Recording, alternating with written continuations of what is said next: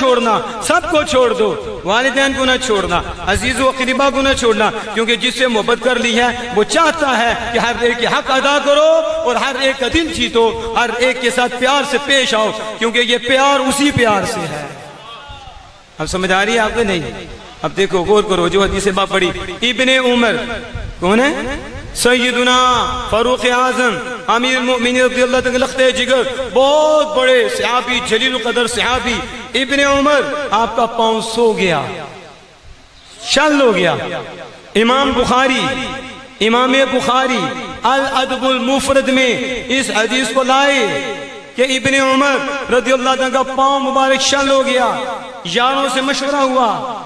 कि इस हालत में क्या करना चाहिए? मशवरा देने वाले भी सिहाबा। क्या मशवरा हुआ?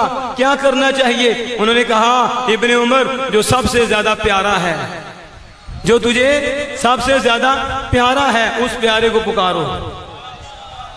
उसको आप हदीस ना हो तो फिर मुझे पकड़ो।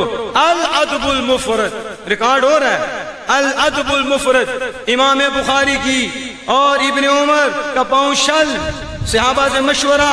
वो कहते हैं, जो सबसे ज़्यादा प्यारा है, उसे पुकारो। उठा के तो खोल मुफरत उन्होंने किसे पुकारा? कहा, या मोहम्मद क्या कहा?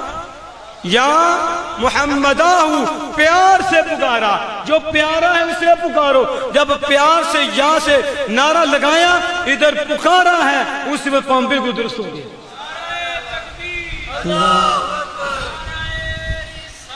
या रसूल अल्लाह या रसूल अल्लाह ये है मोहब्बत के साथ, प्यार के साथ, उस आका को पुकारे और ताजदार खत्म का नारा लगाए। पूरी ज़िंदगी उसे फालज नहीं होगा। ये अपनी तरफ़ से नहीं कह रहे, ये उम्र उम्र ने करके भी दिखाया है। तजर्बा हो चुका है। दा भी होता हमारा ईमान है। हमारा ईमान है, लेकिन मसाल मौजूद है। मसाल मौजूद है। आप इस पे गुफ्तु करें तो वाला क्या है? मैंने जो आयत करीमा पढ़ी, या इन्ना ए नफ्स रब्बिक आपने रब की तरफ़ आ जा। क्या कहा?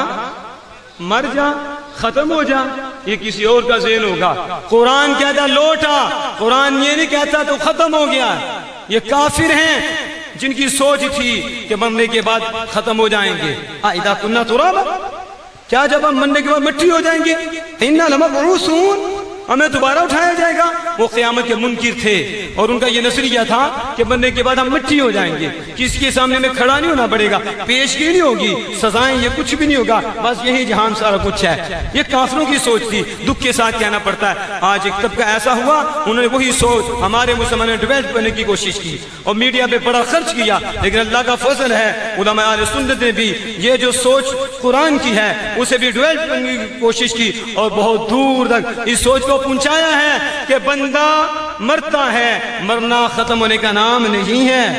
खत्म होने का ये काफिरों की सोच है कि मर के मट्टी हो जाएँगे। मोमिन की सोच ही है, मरने के बाद और जहाँ है। उस जहाँ में भी आजमाइश है, उस जहाँ से भी आ गया जहाँ है, वहाँ भी आजमाइश है। उसके बाद जब रिज़ल्ट हो जाएगा, फिर जन्नत, जन्नती जन्नत में रहेंगे, जहन्नमी जहन्नम में रहेंगे। मरना नहीं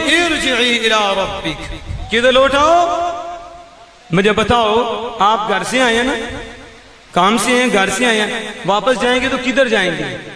लौट के कहने मैं लौटने लगाऊँ अपनी असल की तरफ़ जाने लगाऊँ अल्लाह मदायर जी ए से मुतमाइना तुझे इधर भेजा था, ये आरसी घर था। ये आरसी घर था, तेरा तो ये घर नहीं था, तुझे जिधर से भेजा था मैंने, वो तेरा असल घर था।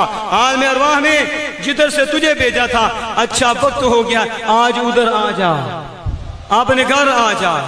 एक घर से दूसरे घर, यानी आलम अरवा से एक मकान है, एक एक जगह है, एक पेट है, एक जहाँ है। उस जहाँ से ये आया, आते माँ के पेट में आ गया। और माँ के पेट भी एक जहाँ है। उस जहाँ से निकला और दुनिया के पेट में आया। और इस पेट से जब निकला तो कब्र पे पेट में गया, वो बरसख में पेट में गया। अब बरसख पेट में निकलेगा तो फिर माहशर होगा। और माहशर में फिर उसके बाद जन्नत। और दोस्त, ये मरा कब? ये तो सैर ही करता रहा। ये सैर ही करता रहा। अपनी असल की तरफ़ मर्दिया, आजा मेरी तरफ़। तू मुझसे राज़ी है, मैं तुझसे राज़ी हूँ।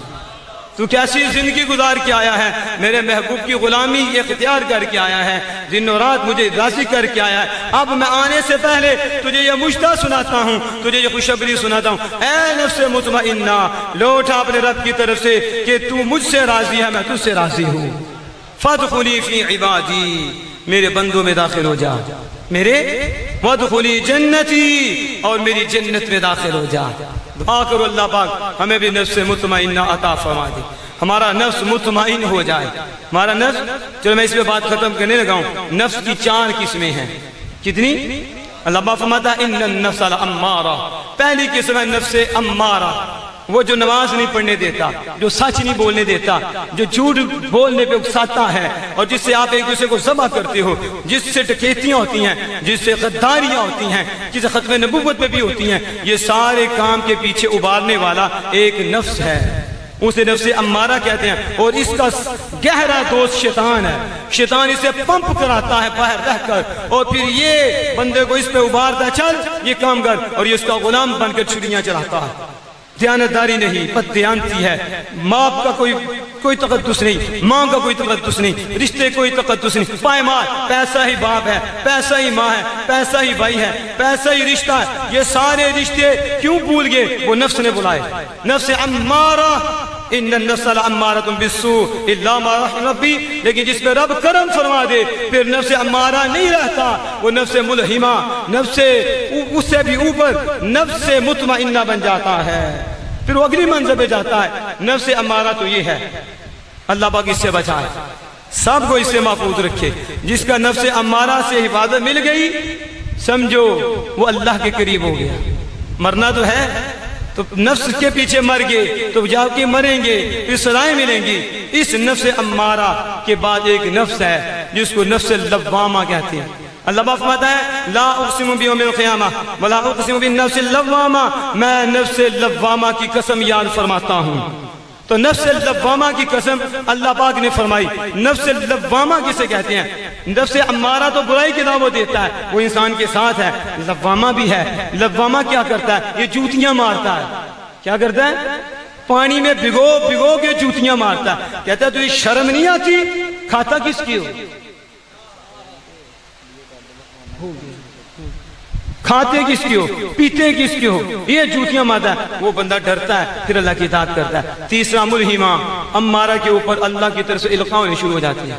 फिर वो गर्दन झुकाता चौथा मुतमाइना सारे रह गए अब इतमान आ गया है। अल्लाह का बंदा बन गया, फिर आने से पहले अल्लाह पाक है, बंदे बाद में आएगा, पहले मेरा कलाम तो सुन, आवाज़ आती है, आ जा, और वो सुन के इतना खुश होता है, इधर आवाज़ आती है रूपी कब्जे उसी से प्रवास कर जाती है। वाखिर दावाया अल्हम्दुलिल्लाह पीर तरीक़त, रहबर शरीयत सूफी बसफ़ा, मुहाफ़िज ख़तब नबूवत, हज़रत हाफिज़ मोहम्मद अब्दुल रशीद वैसे साहब जीद शर्फ मसवा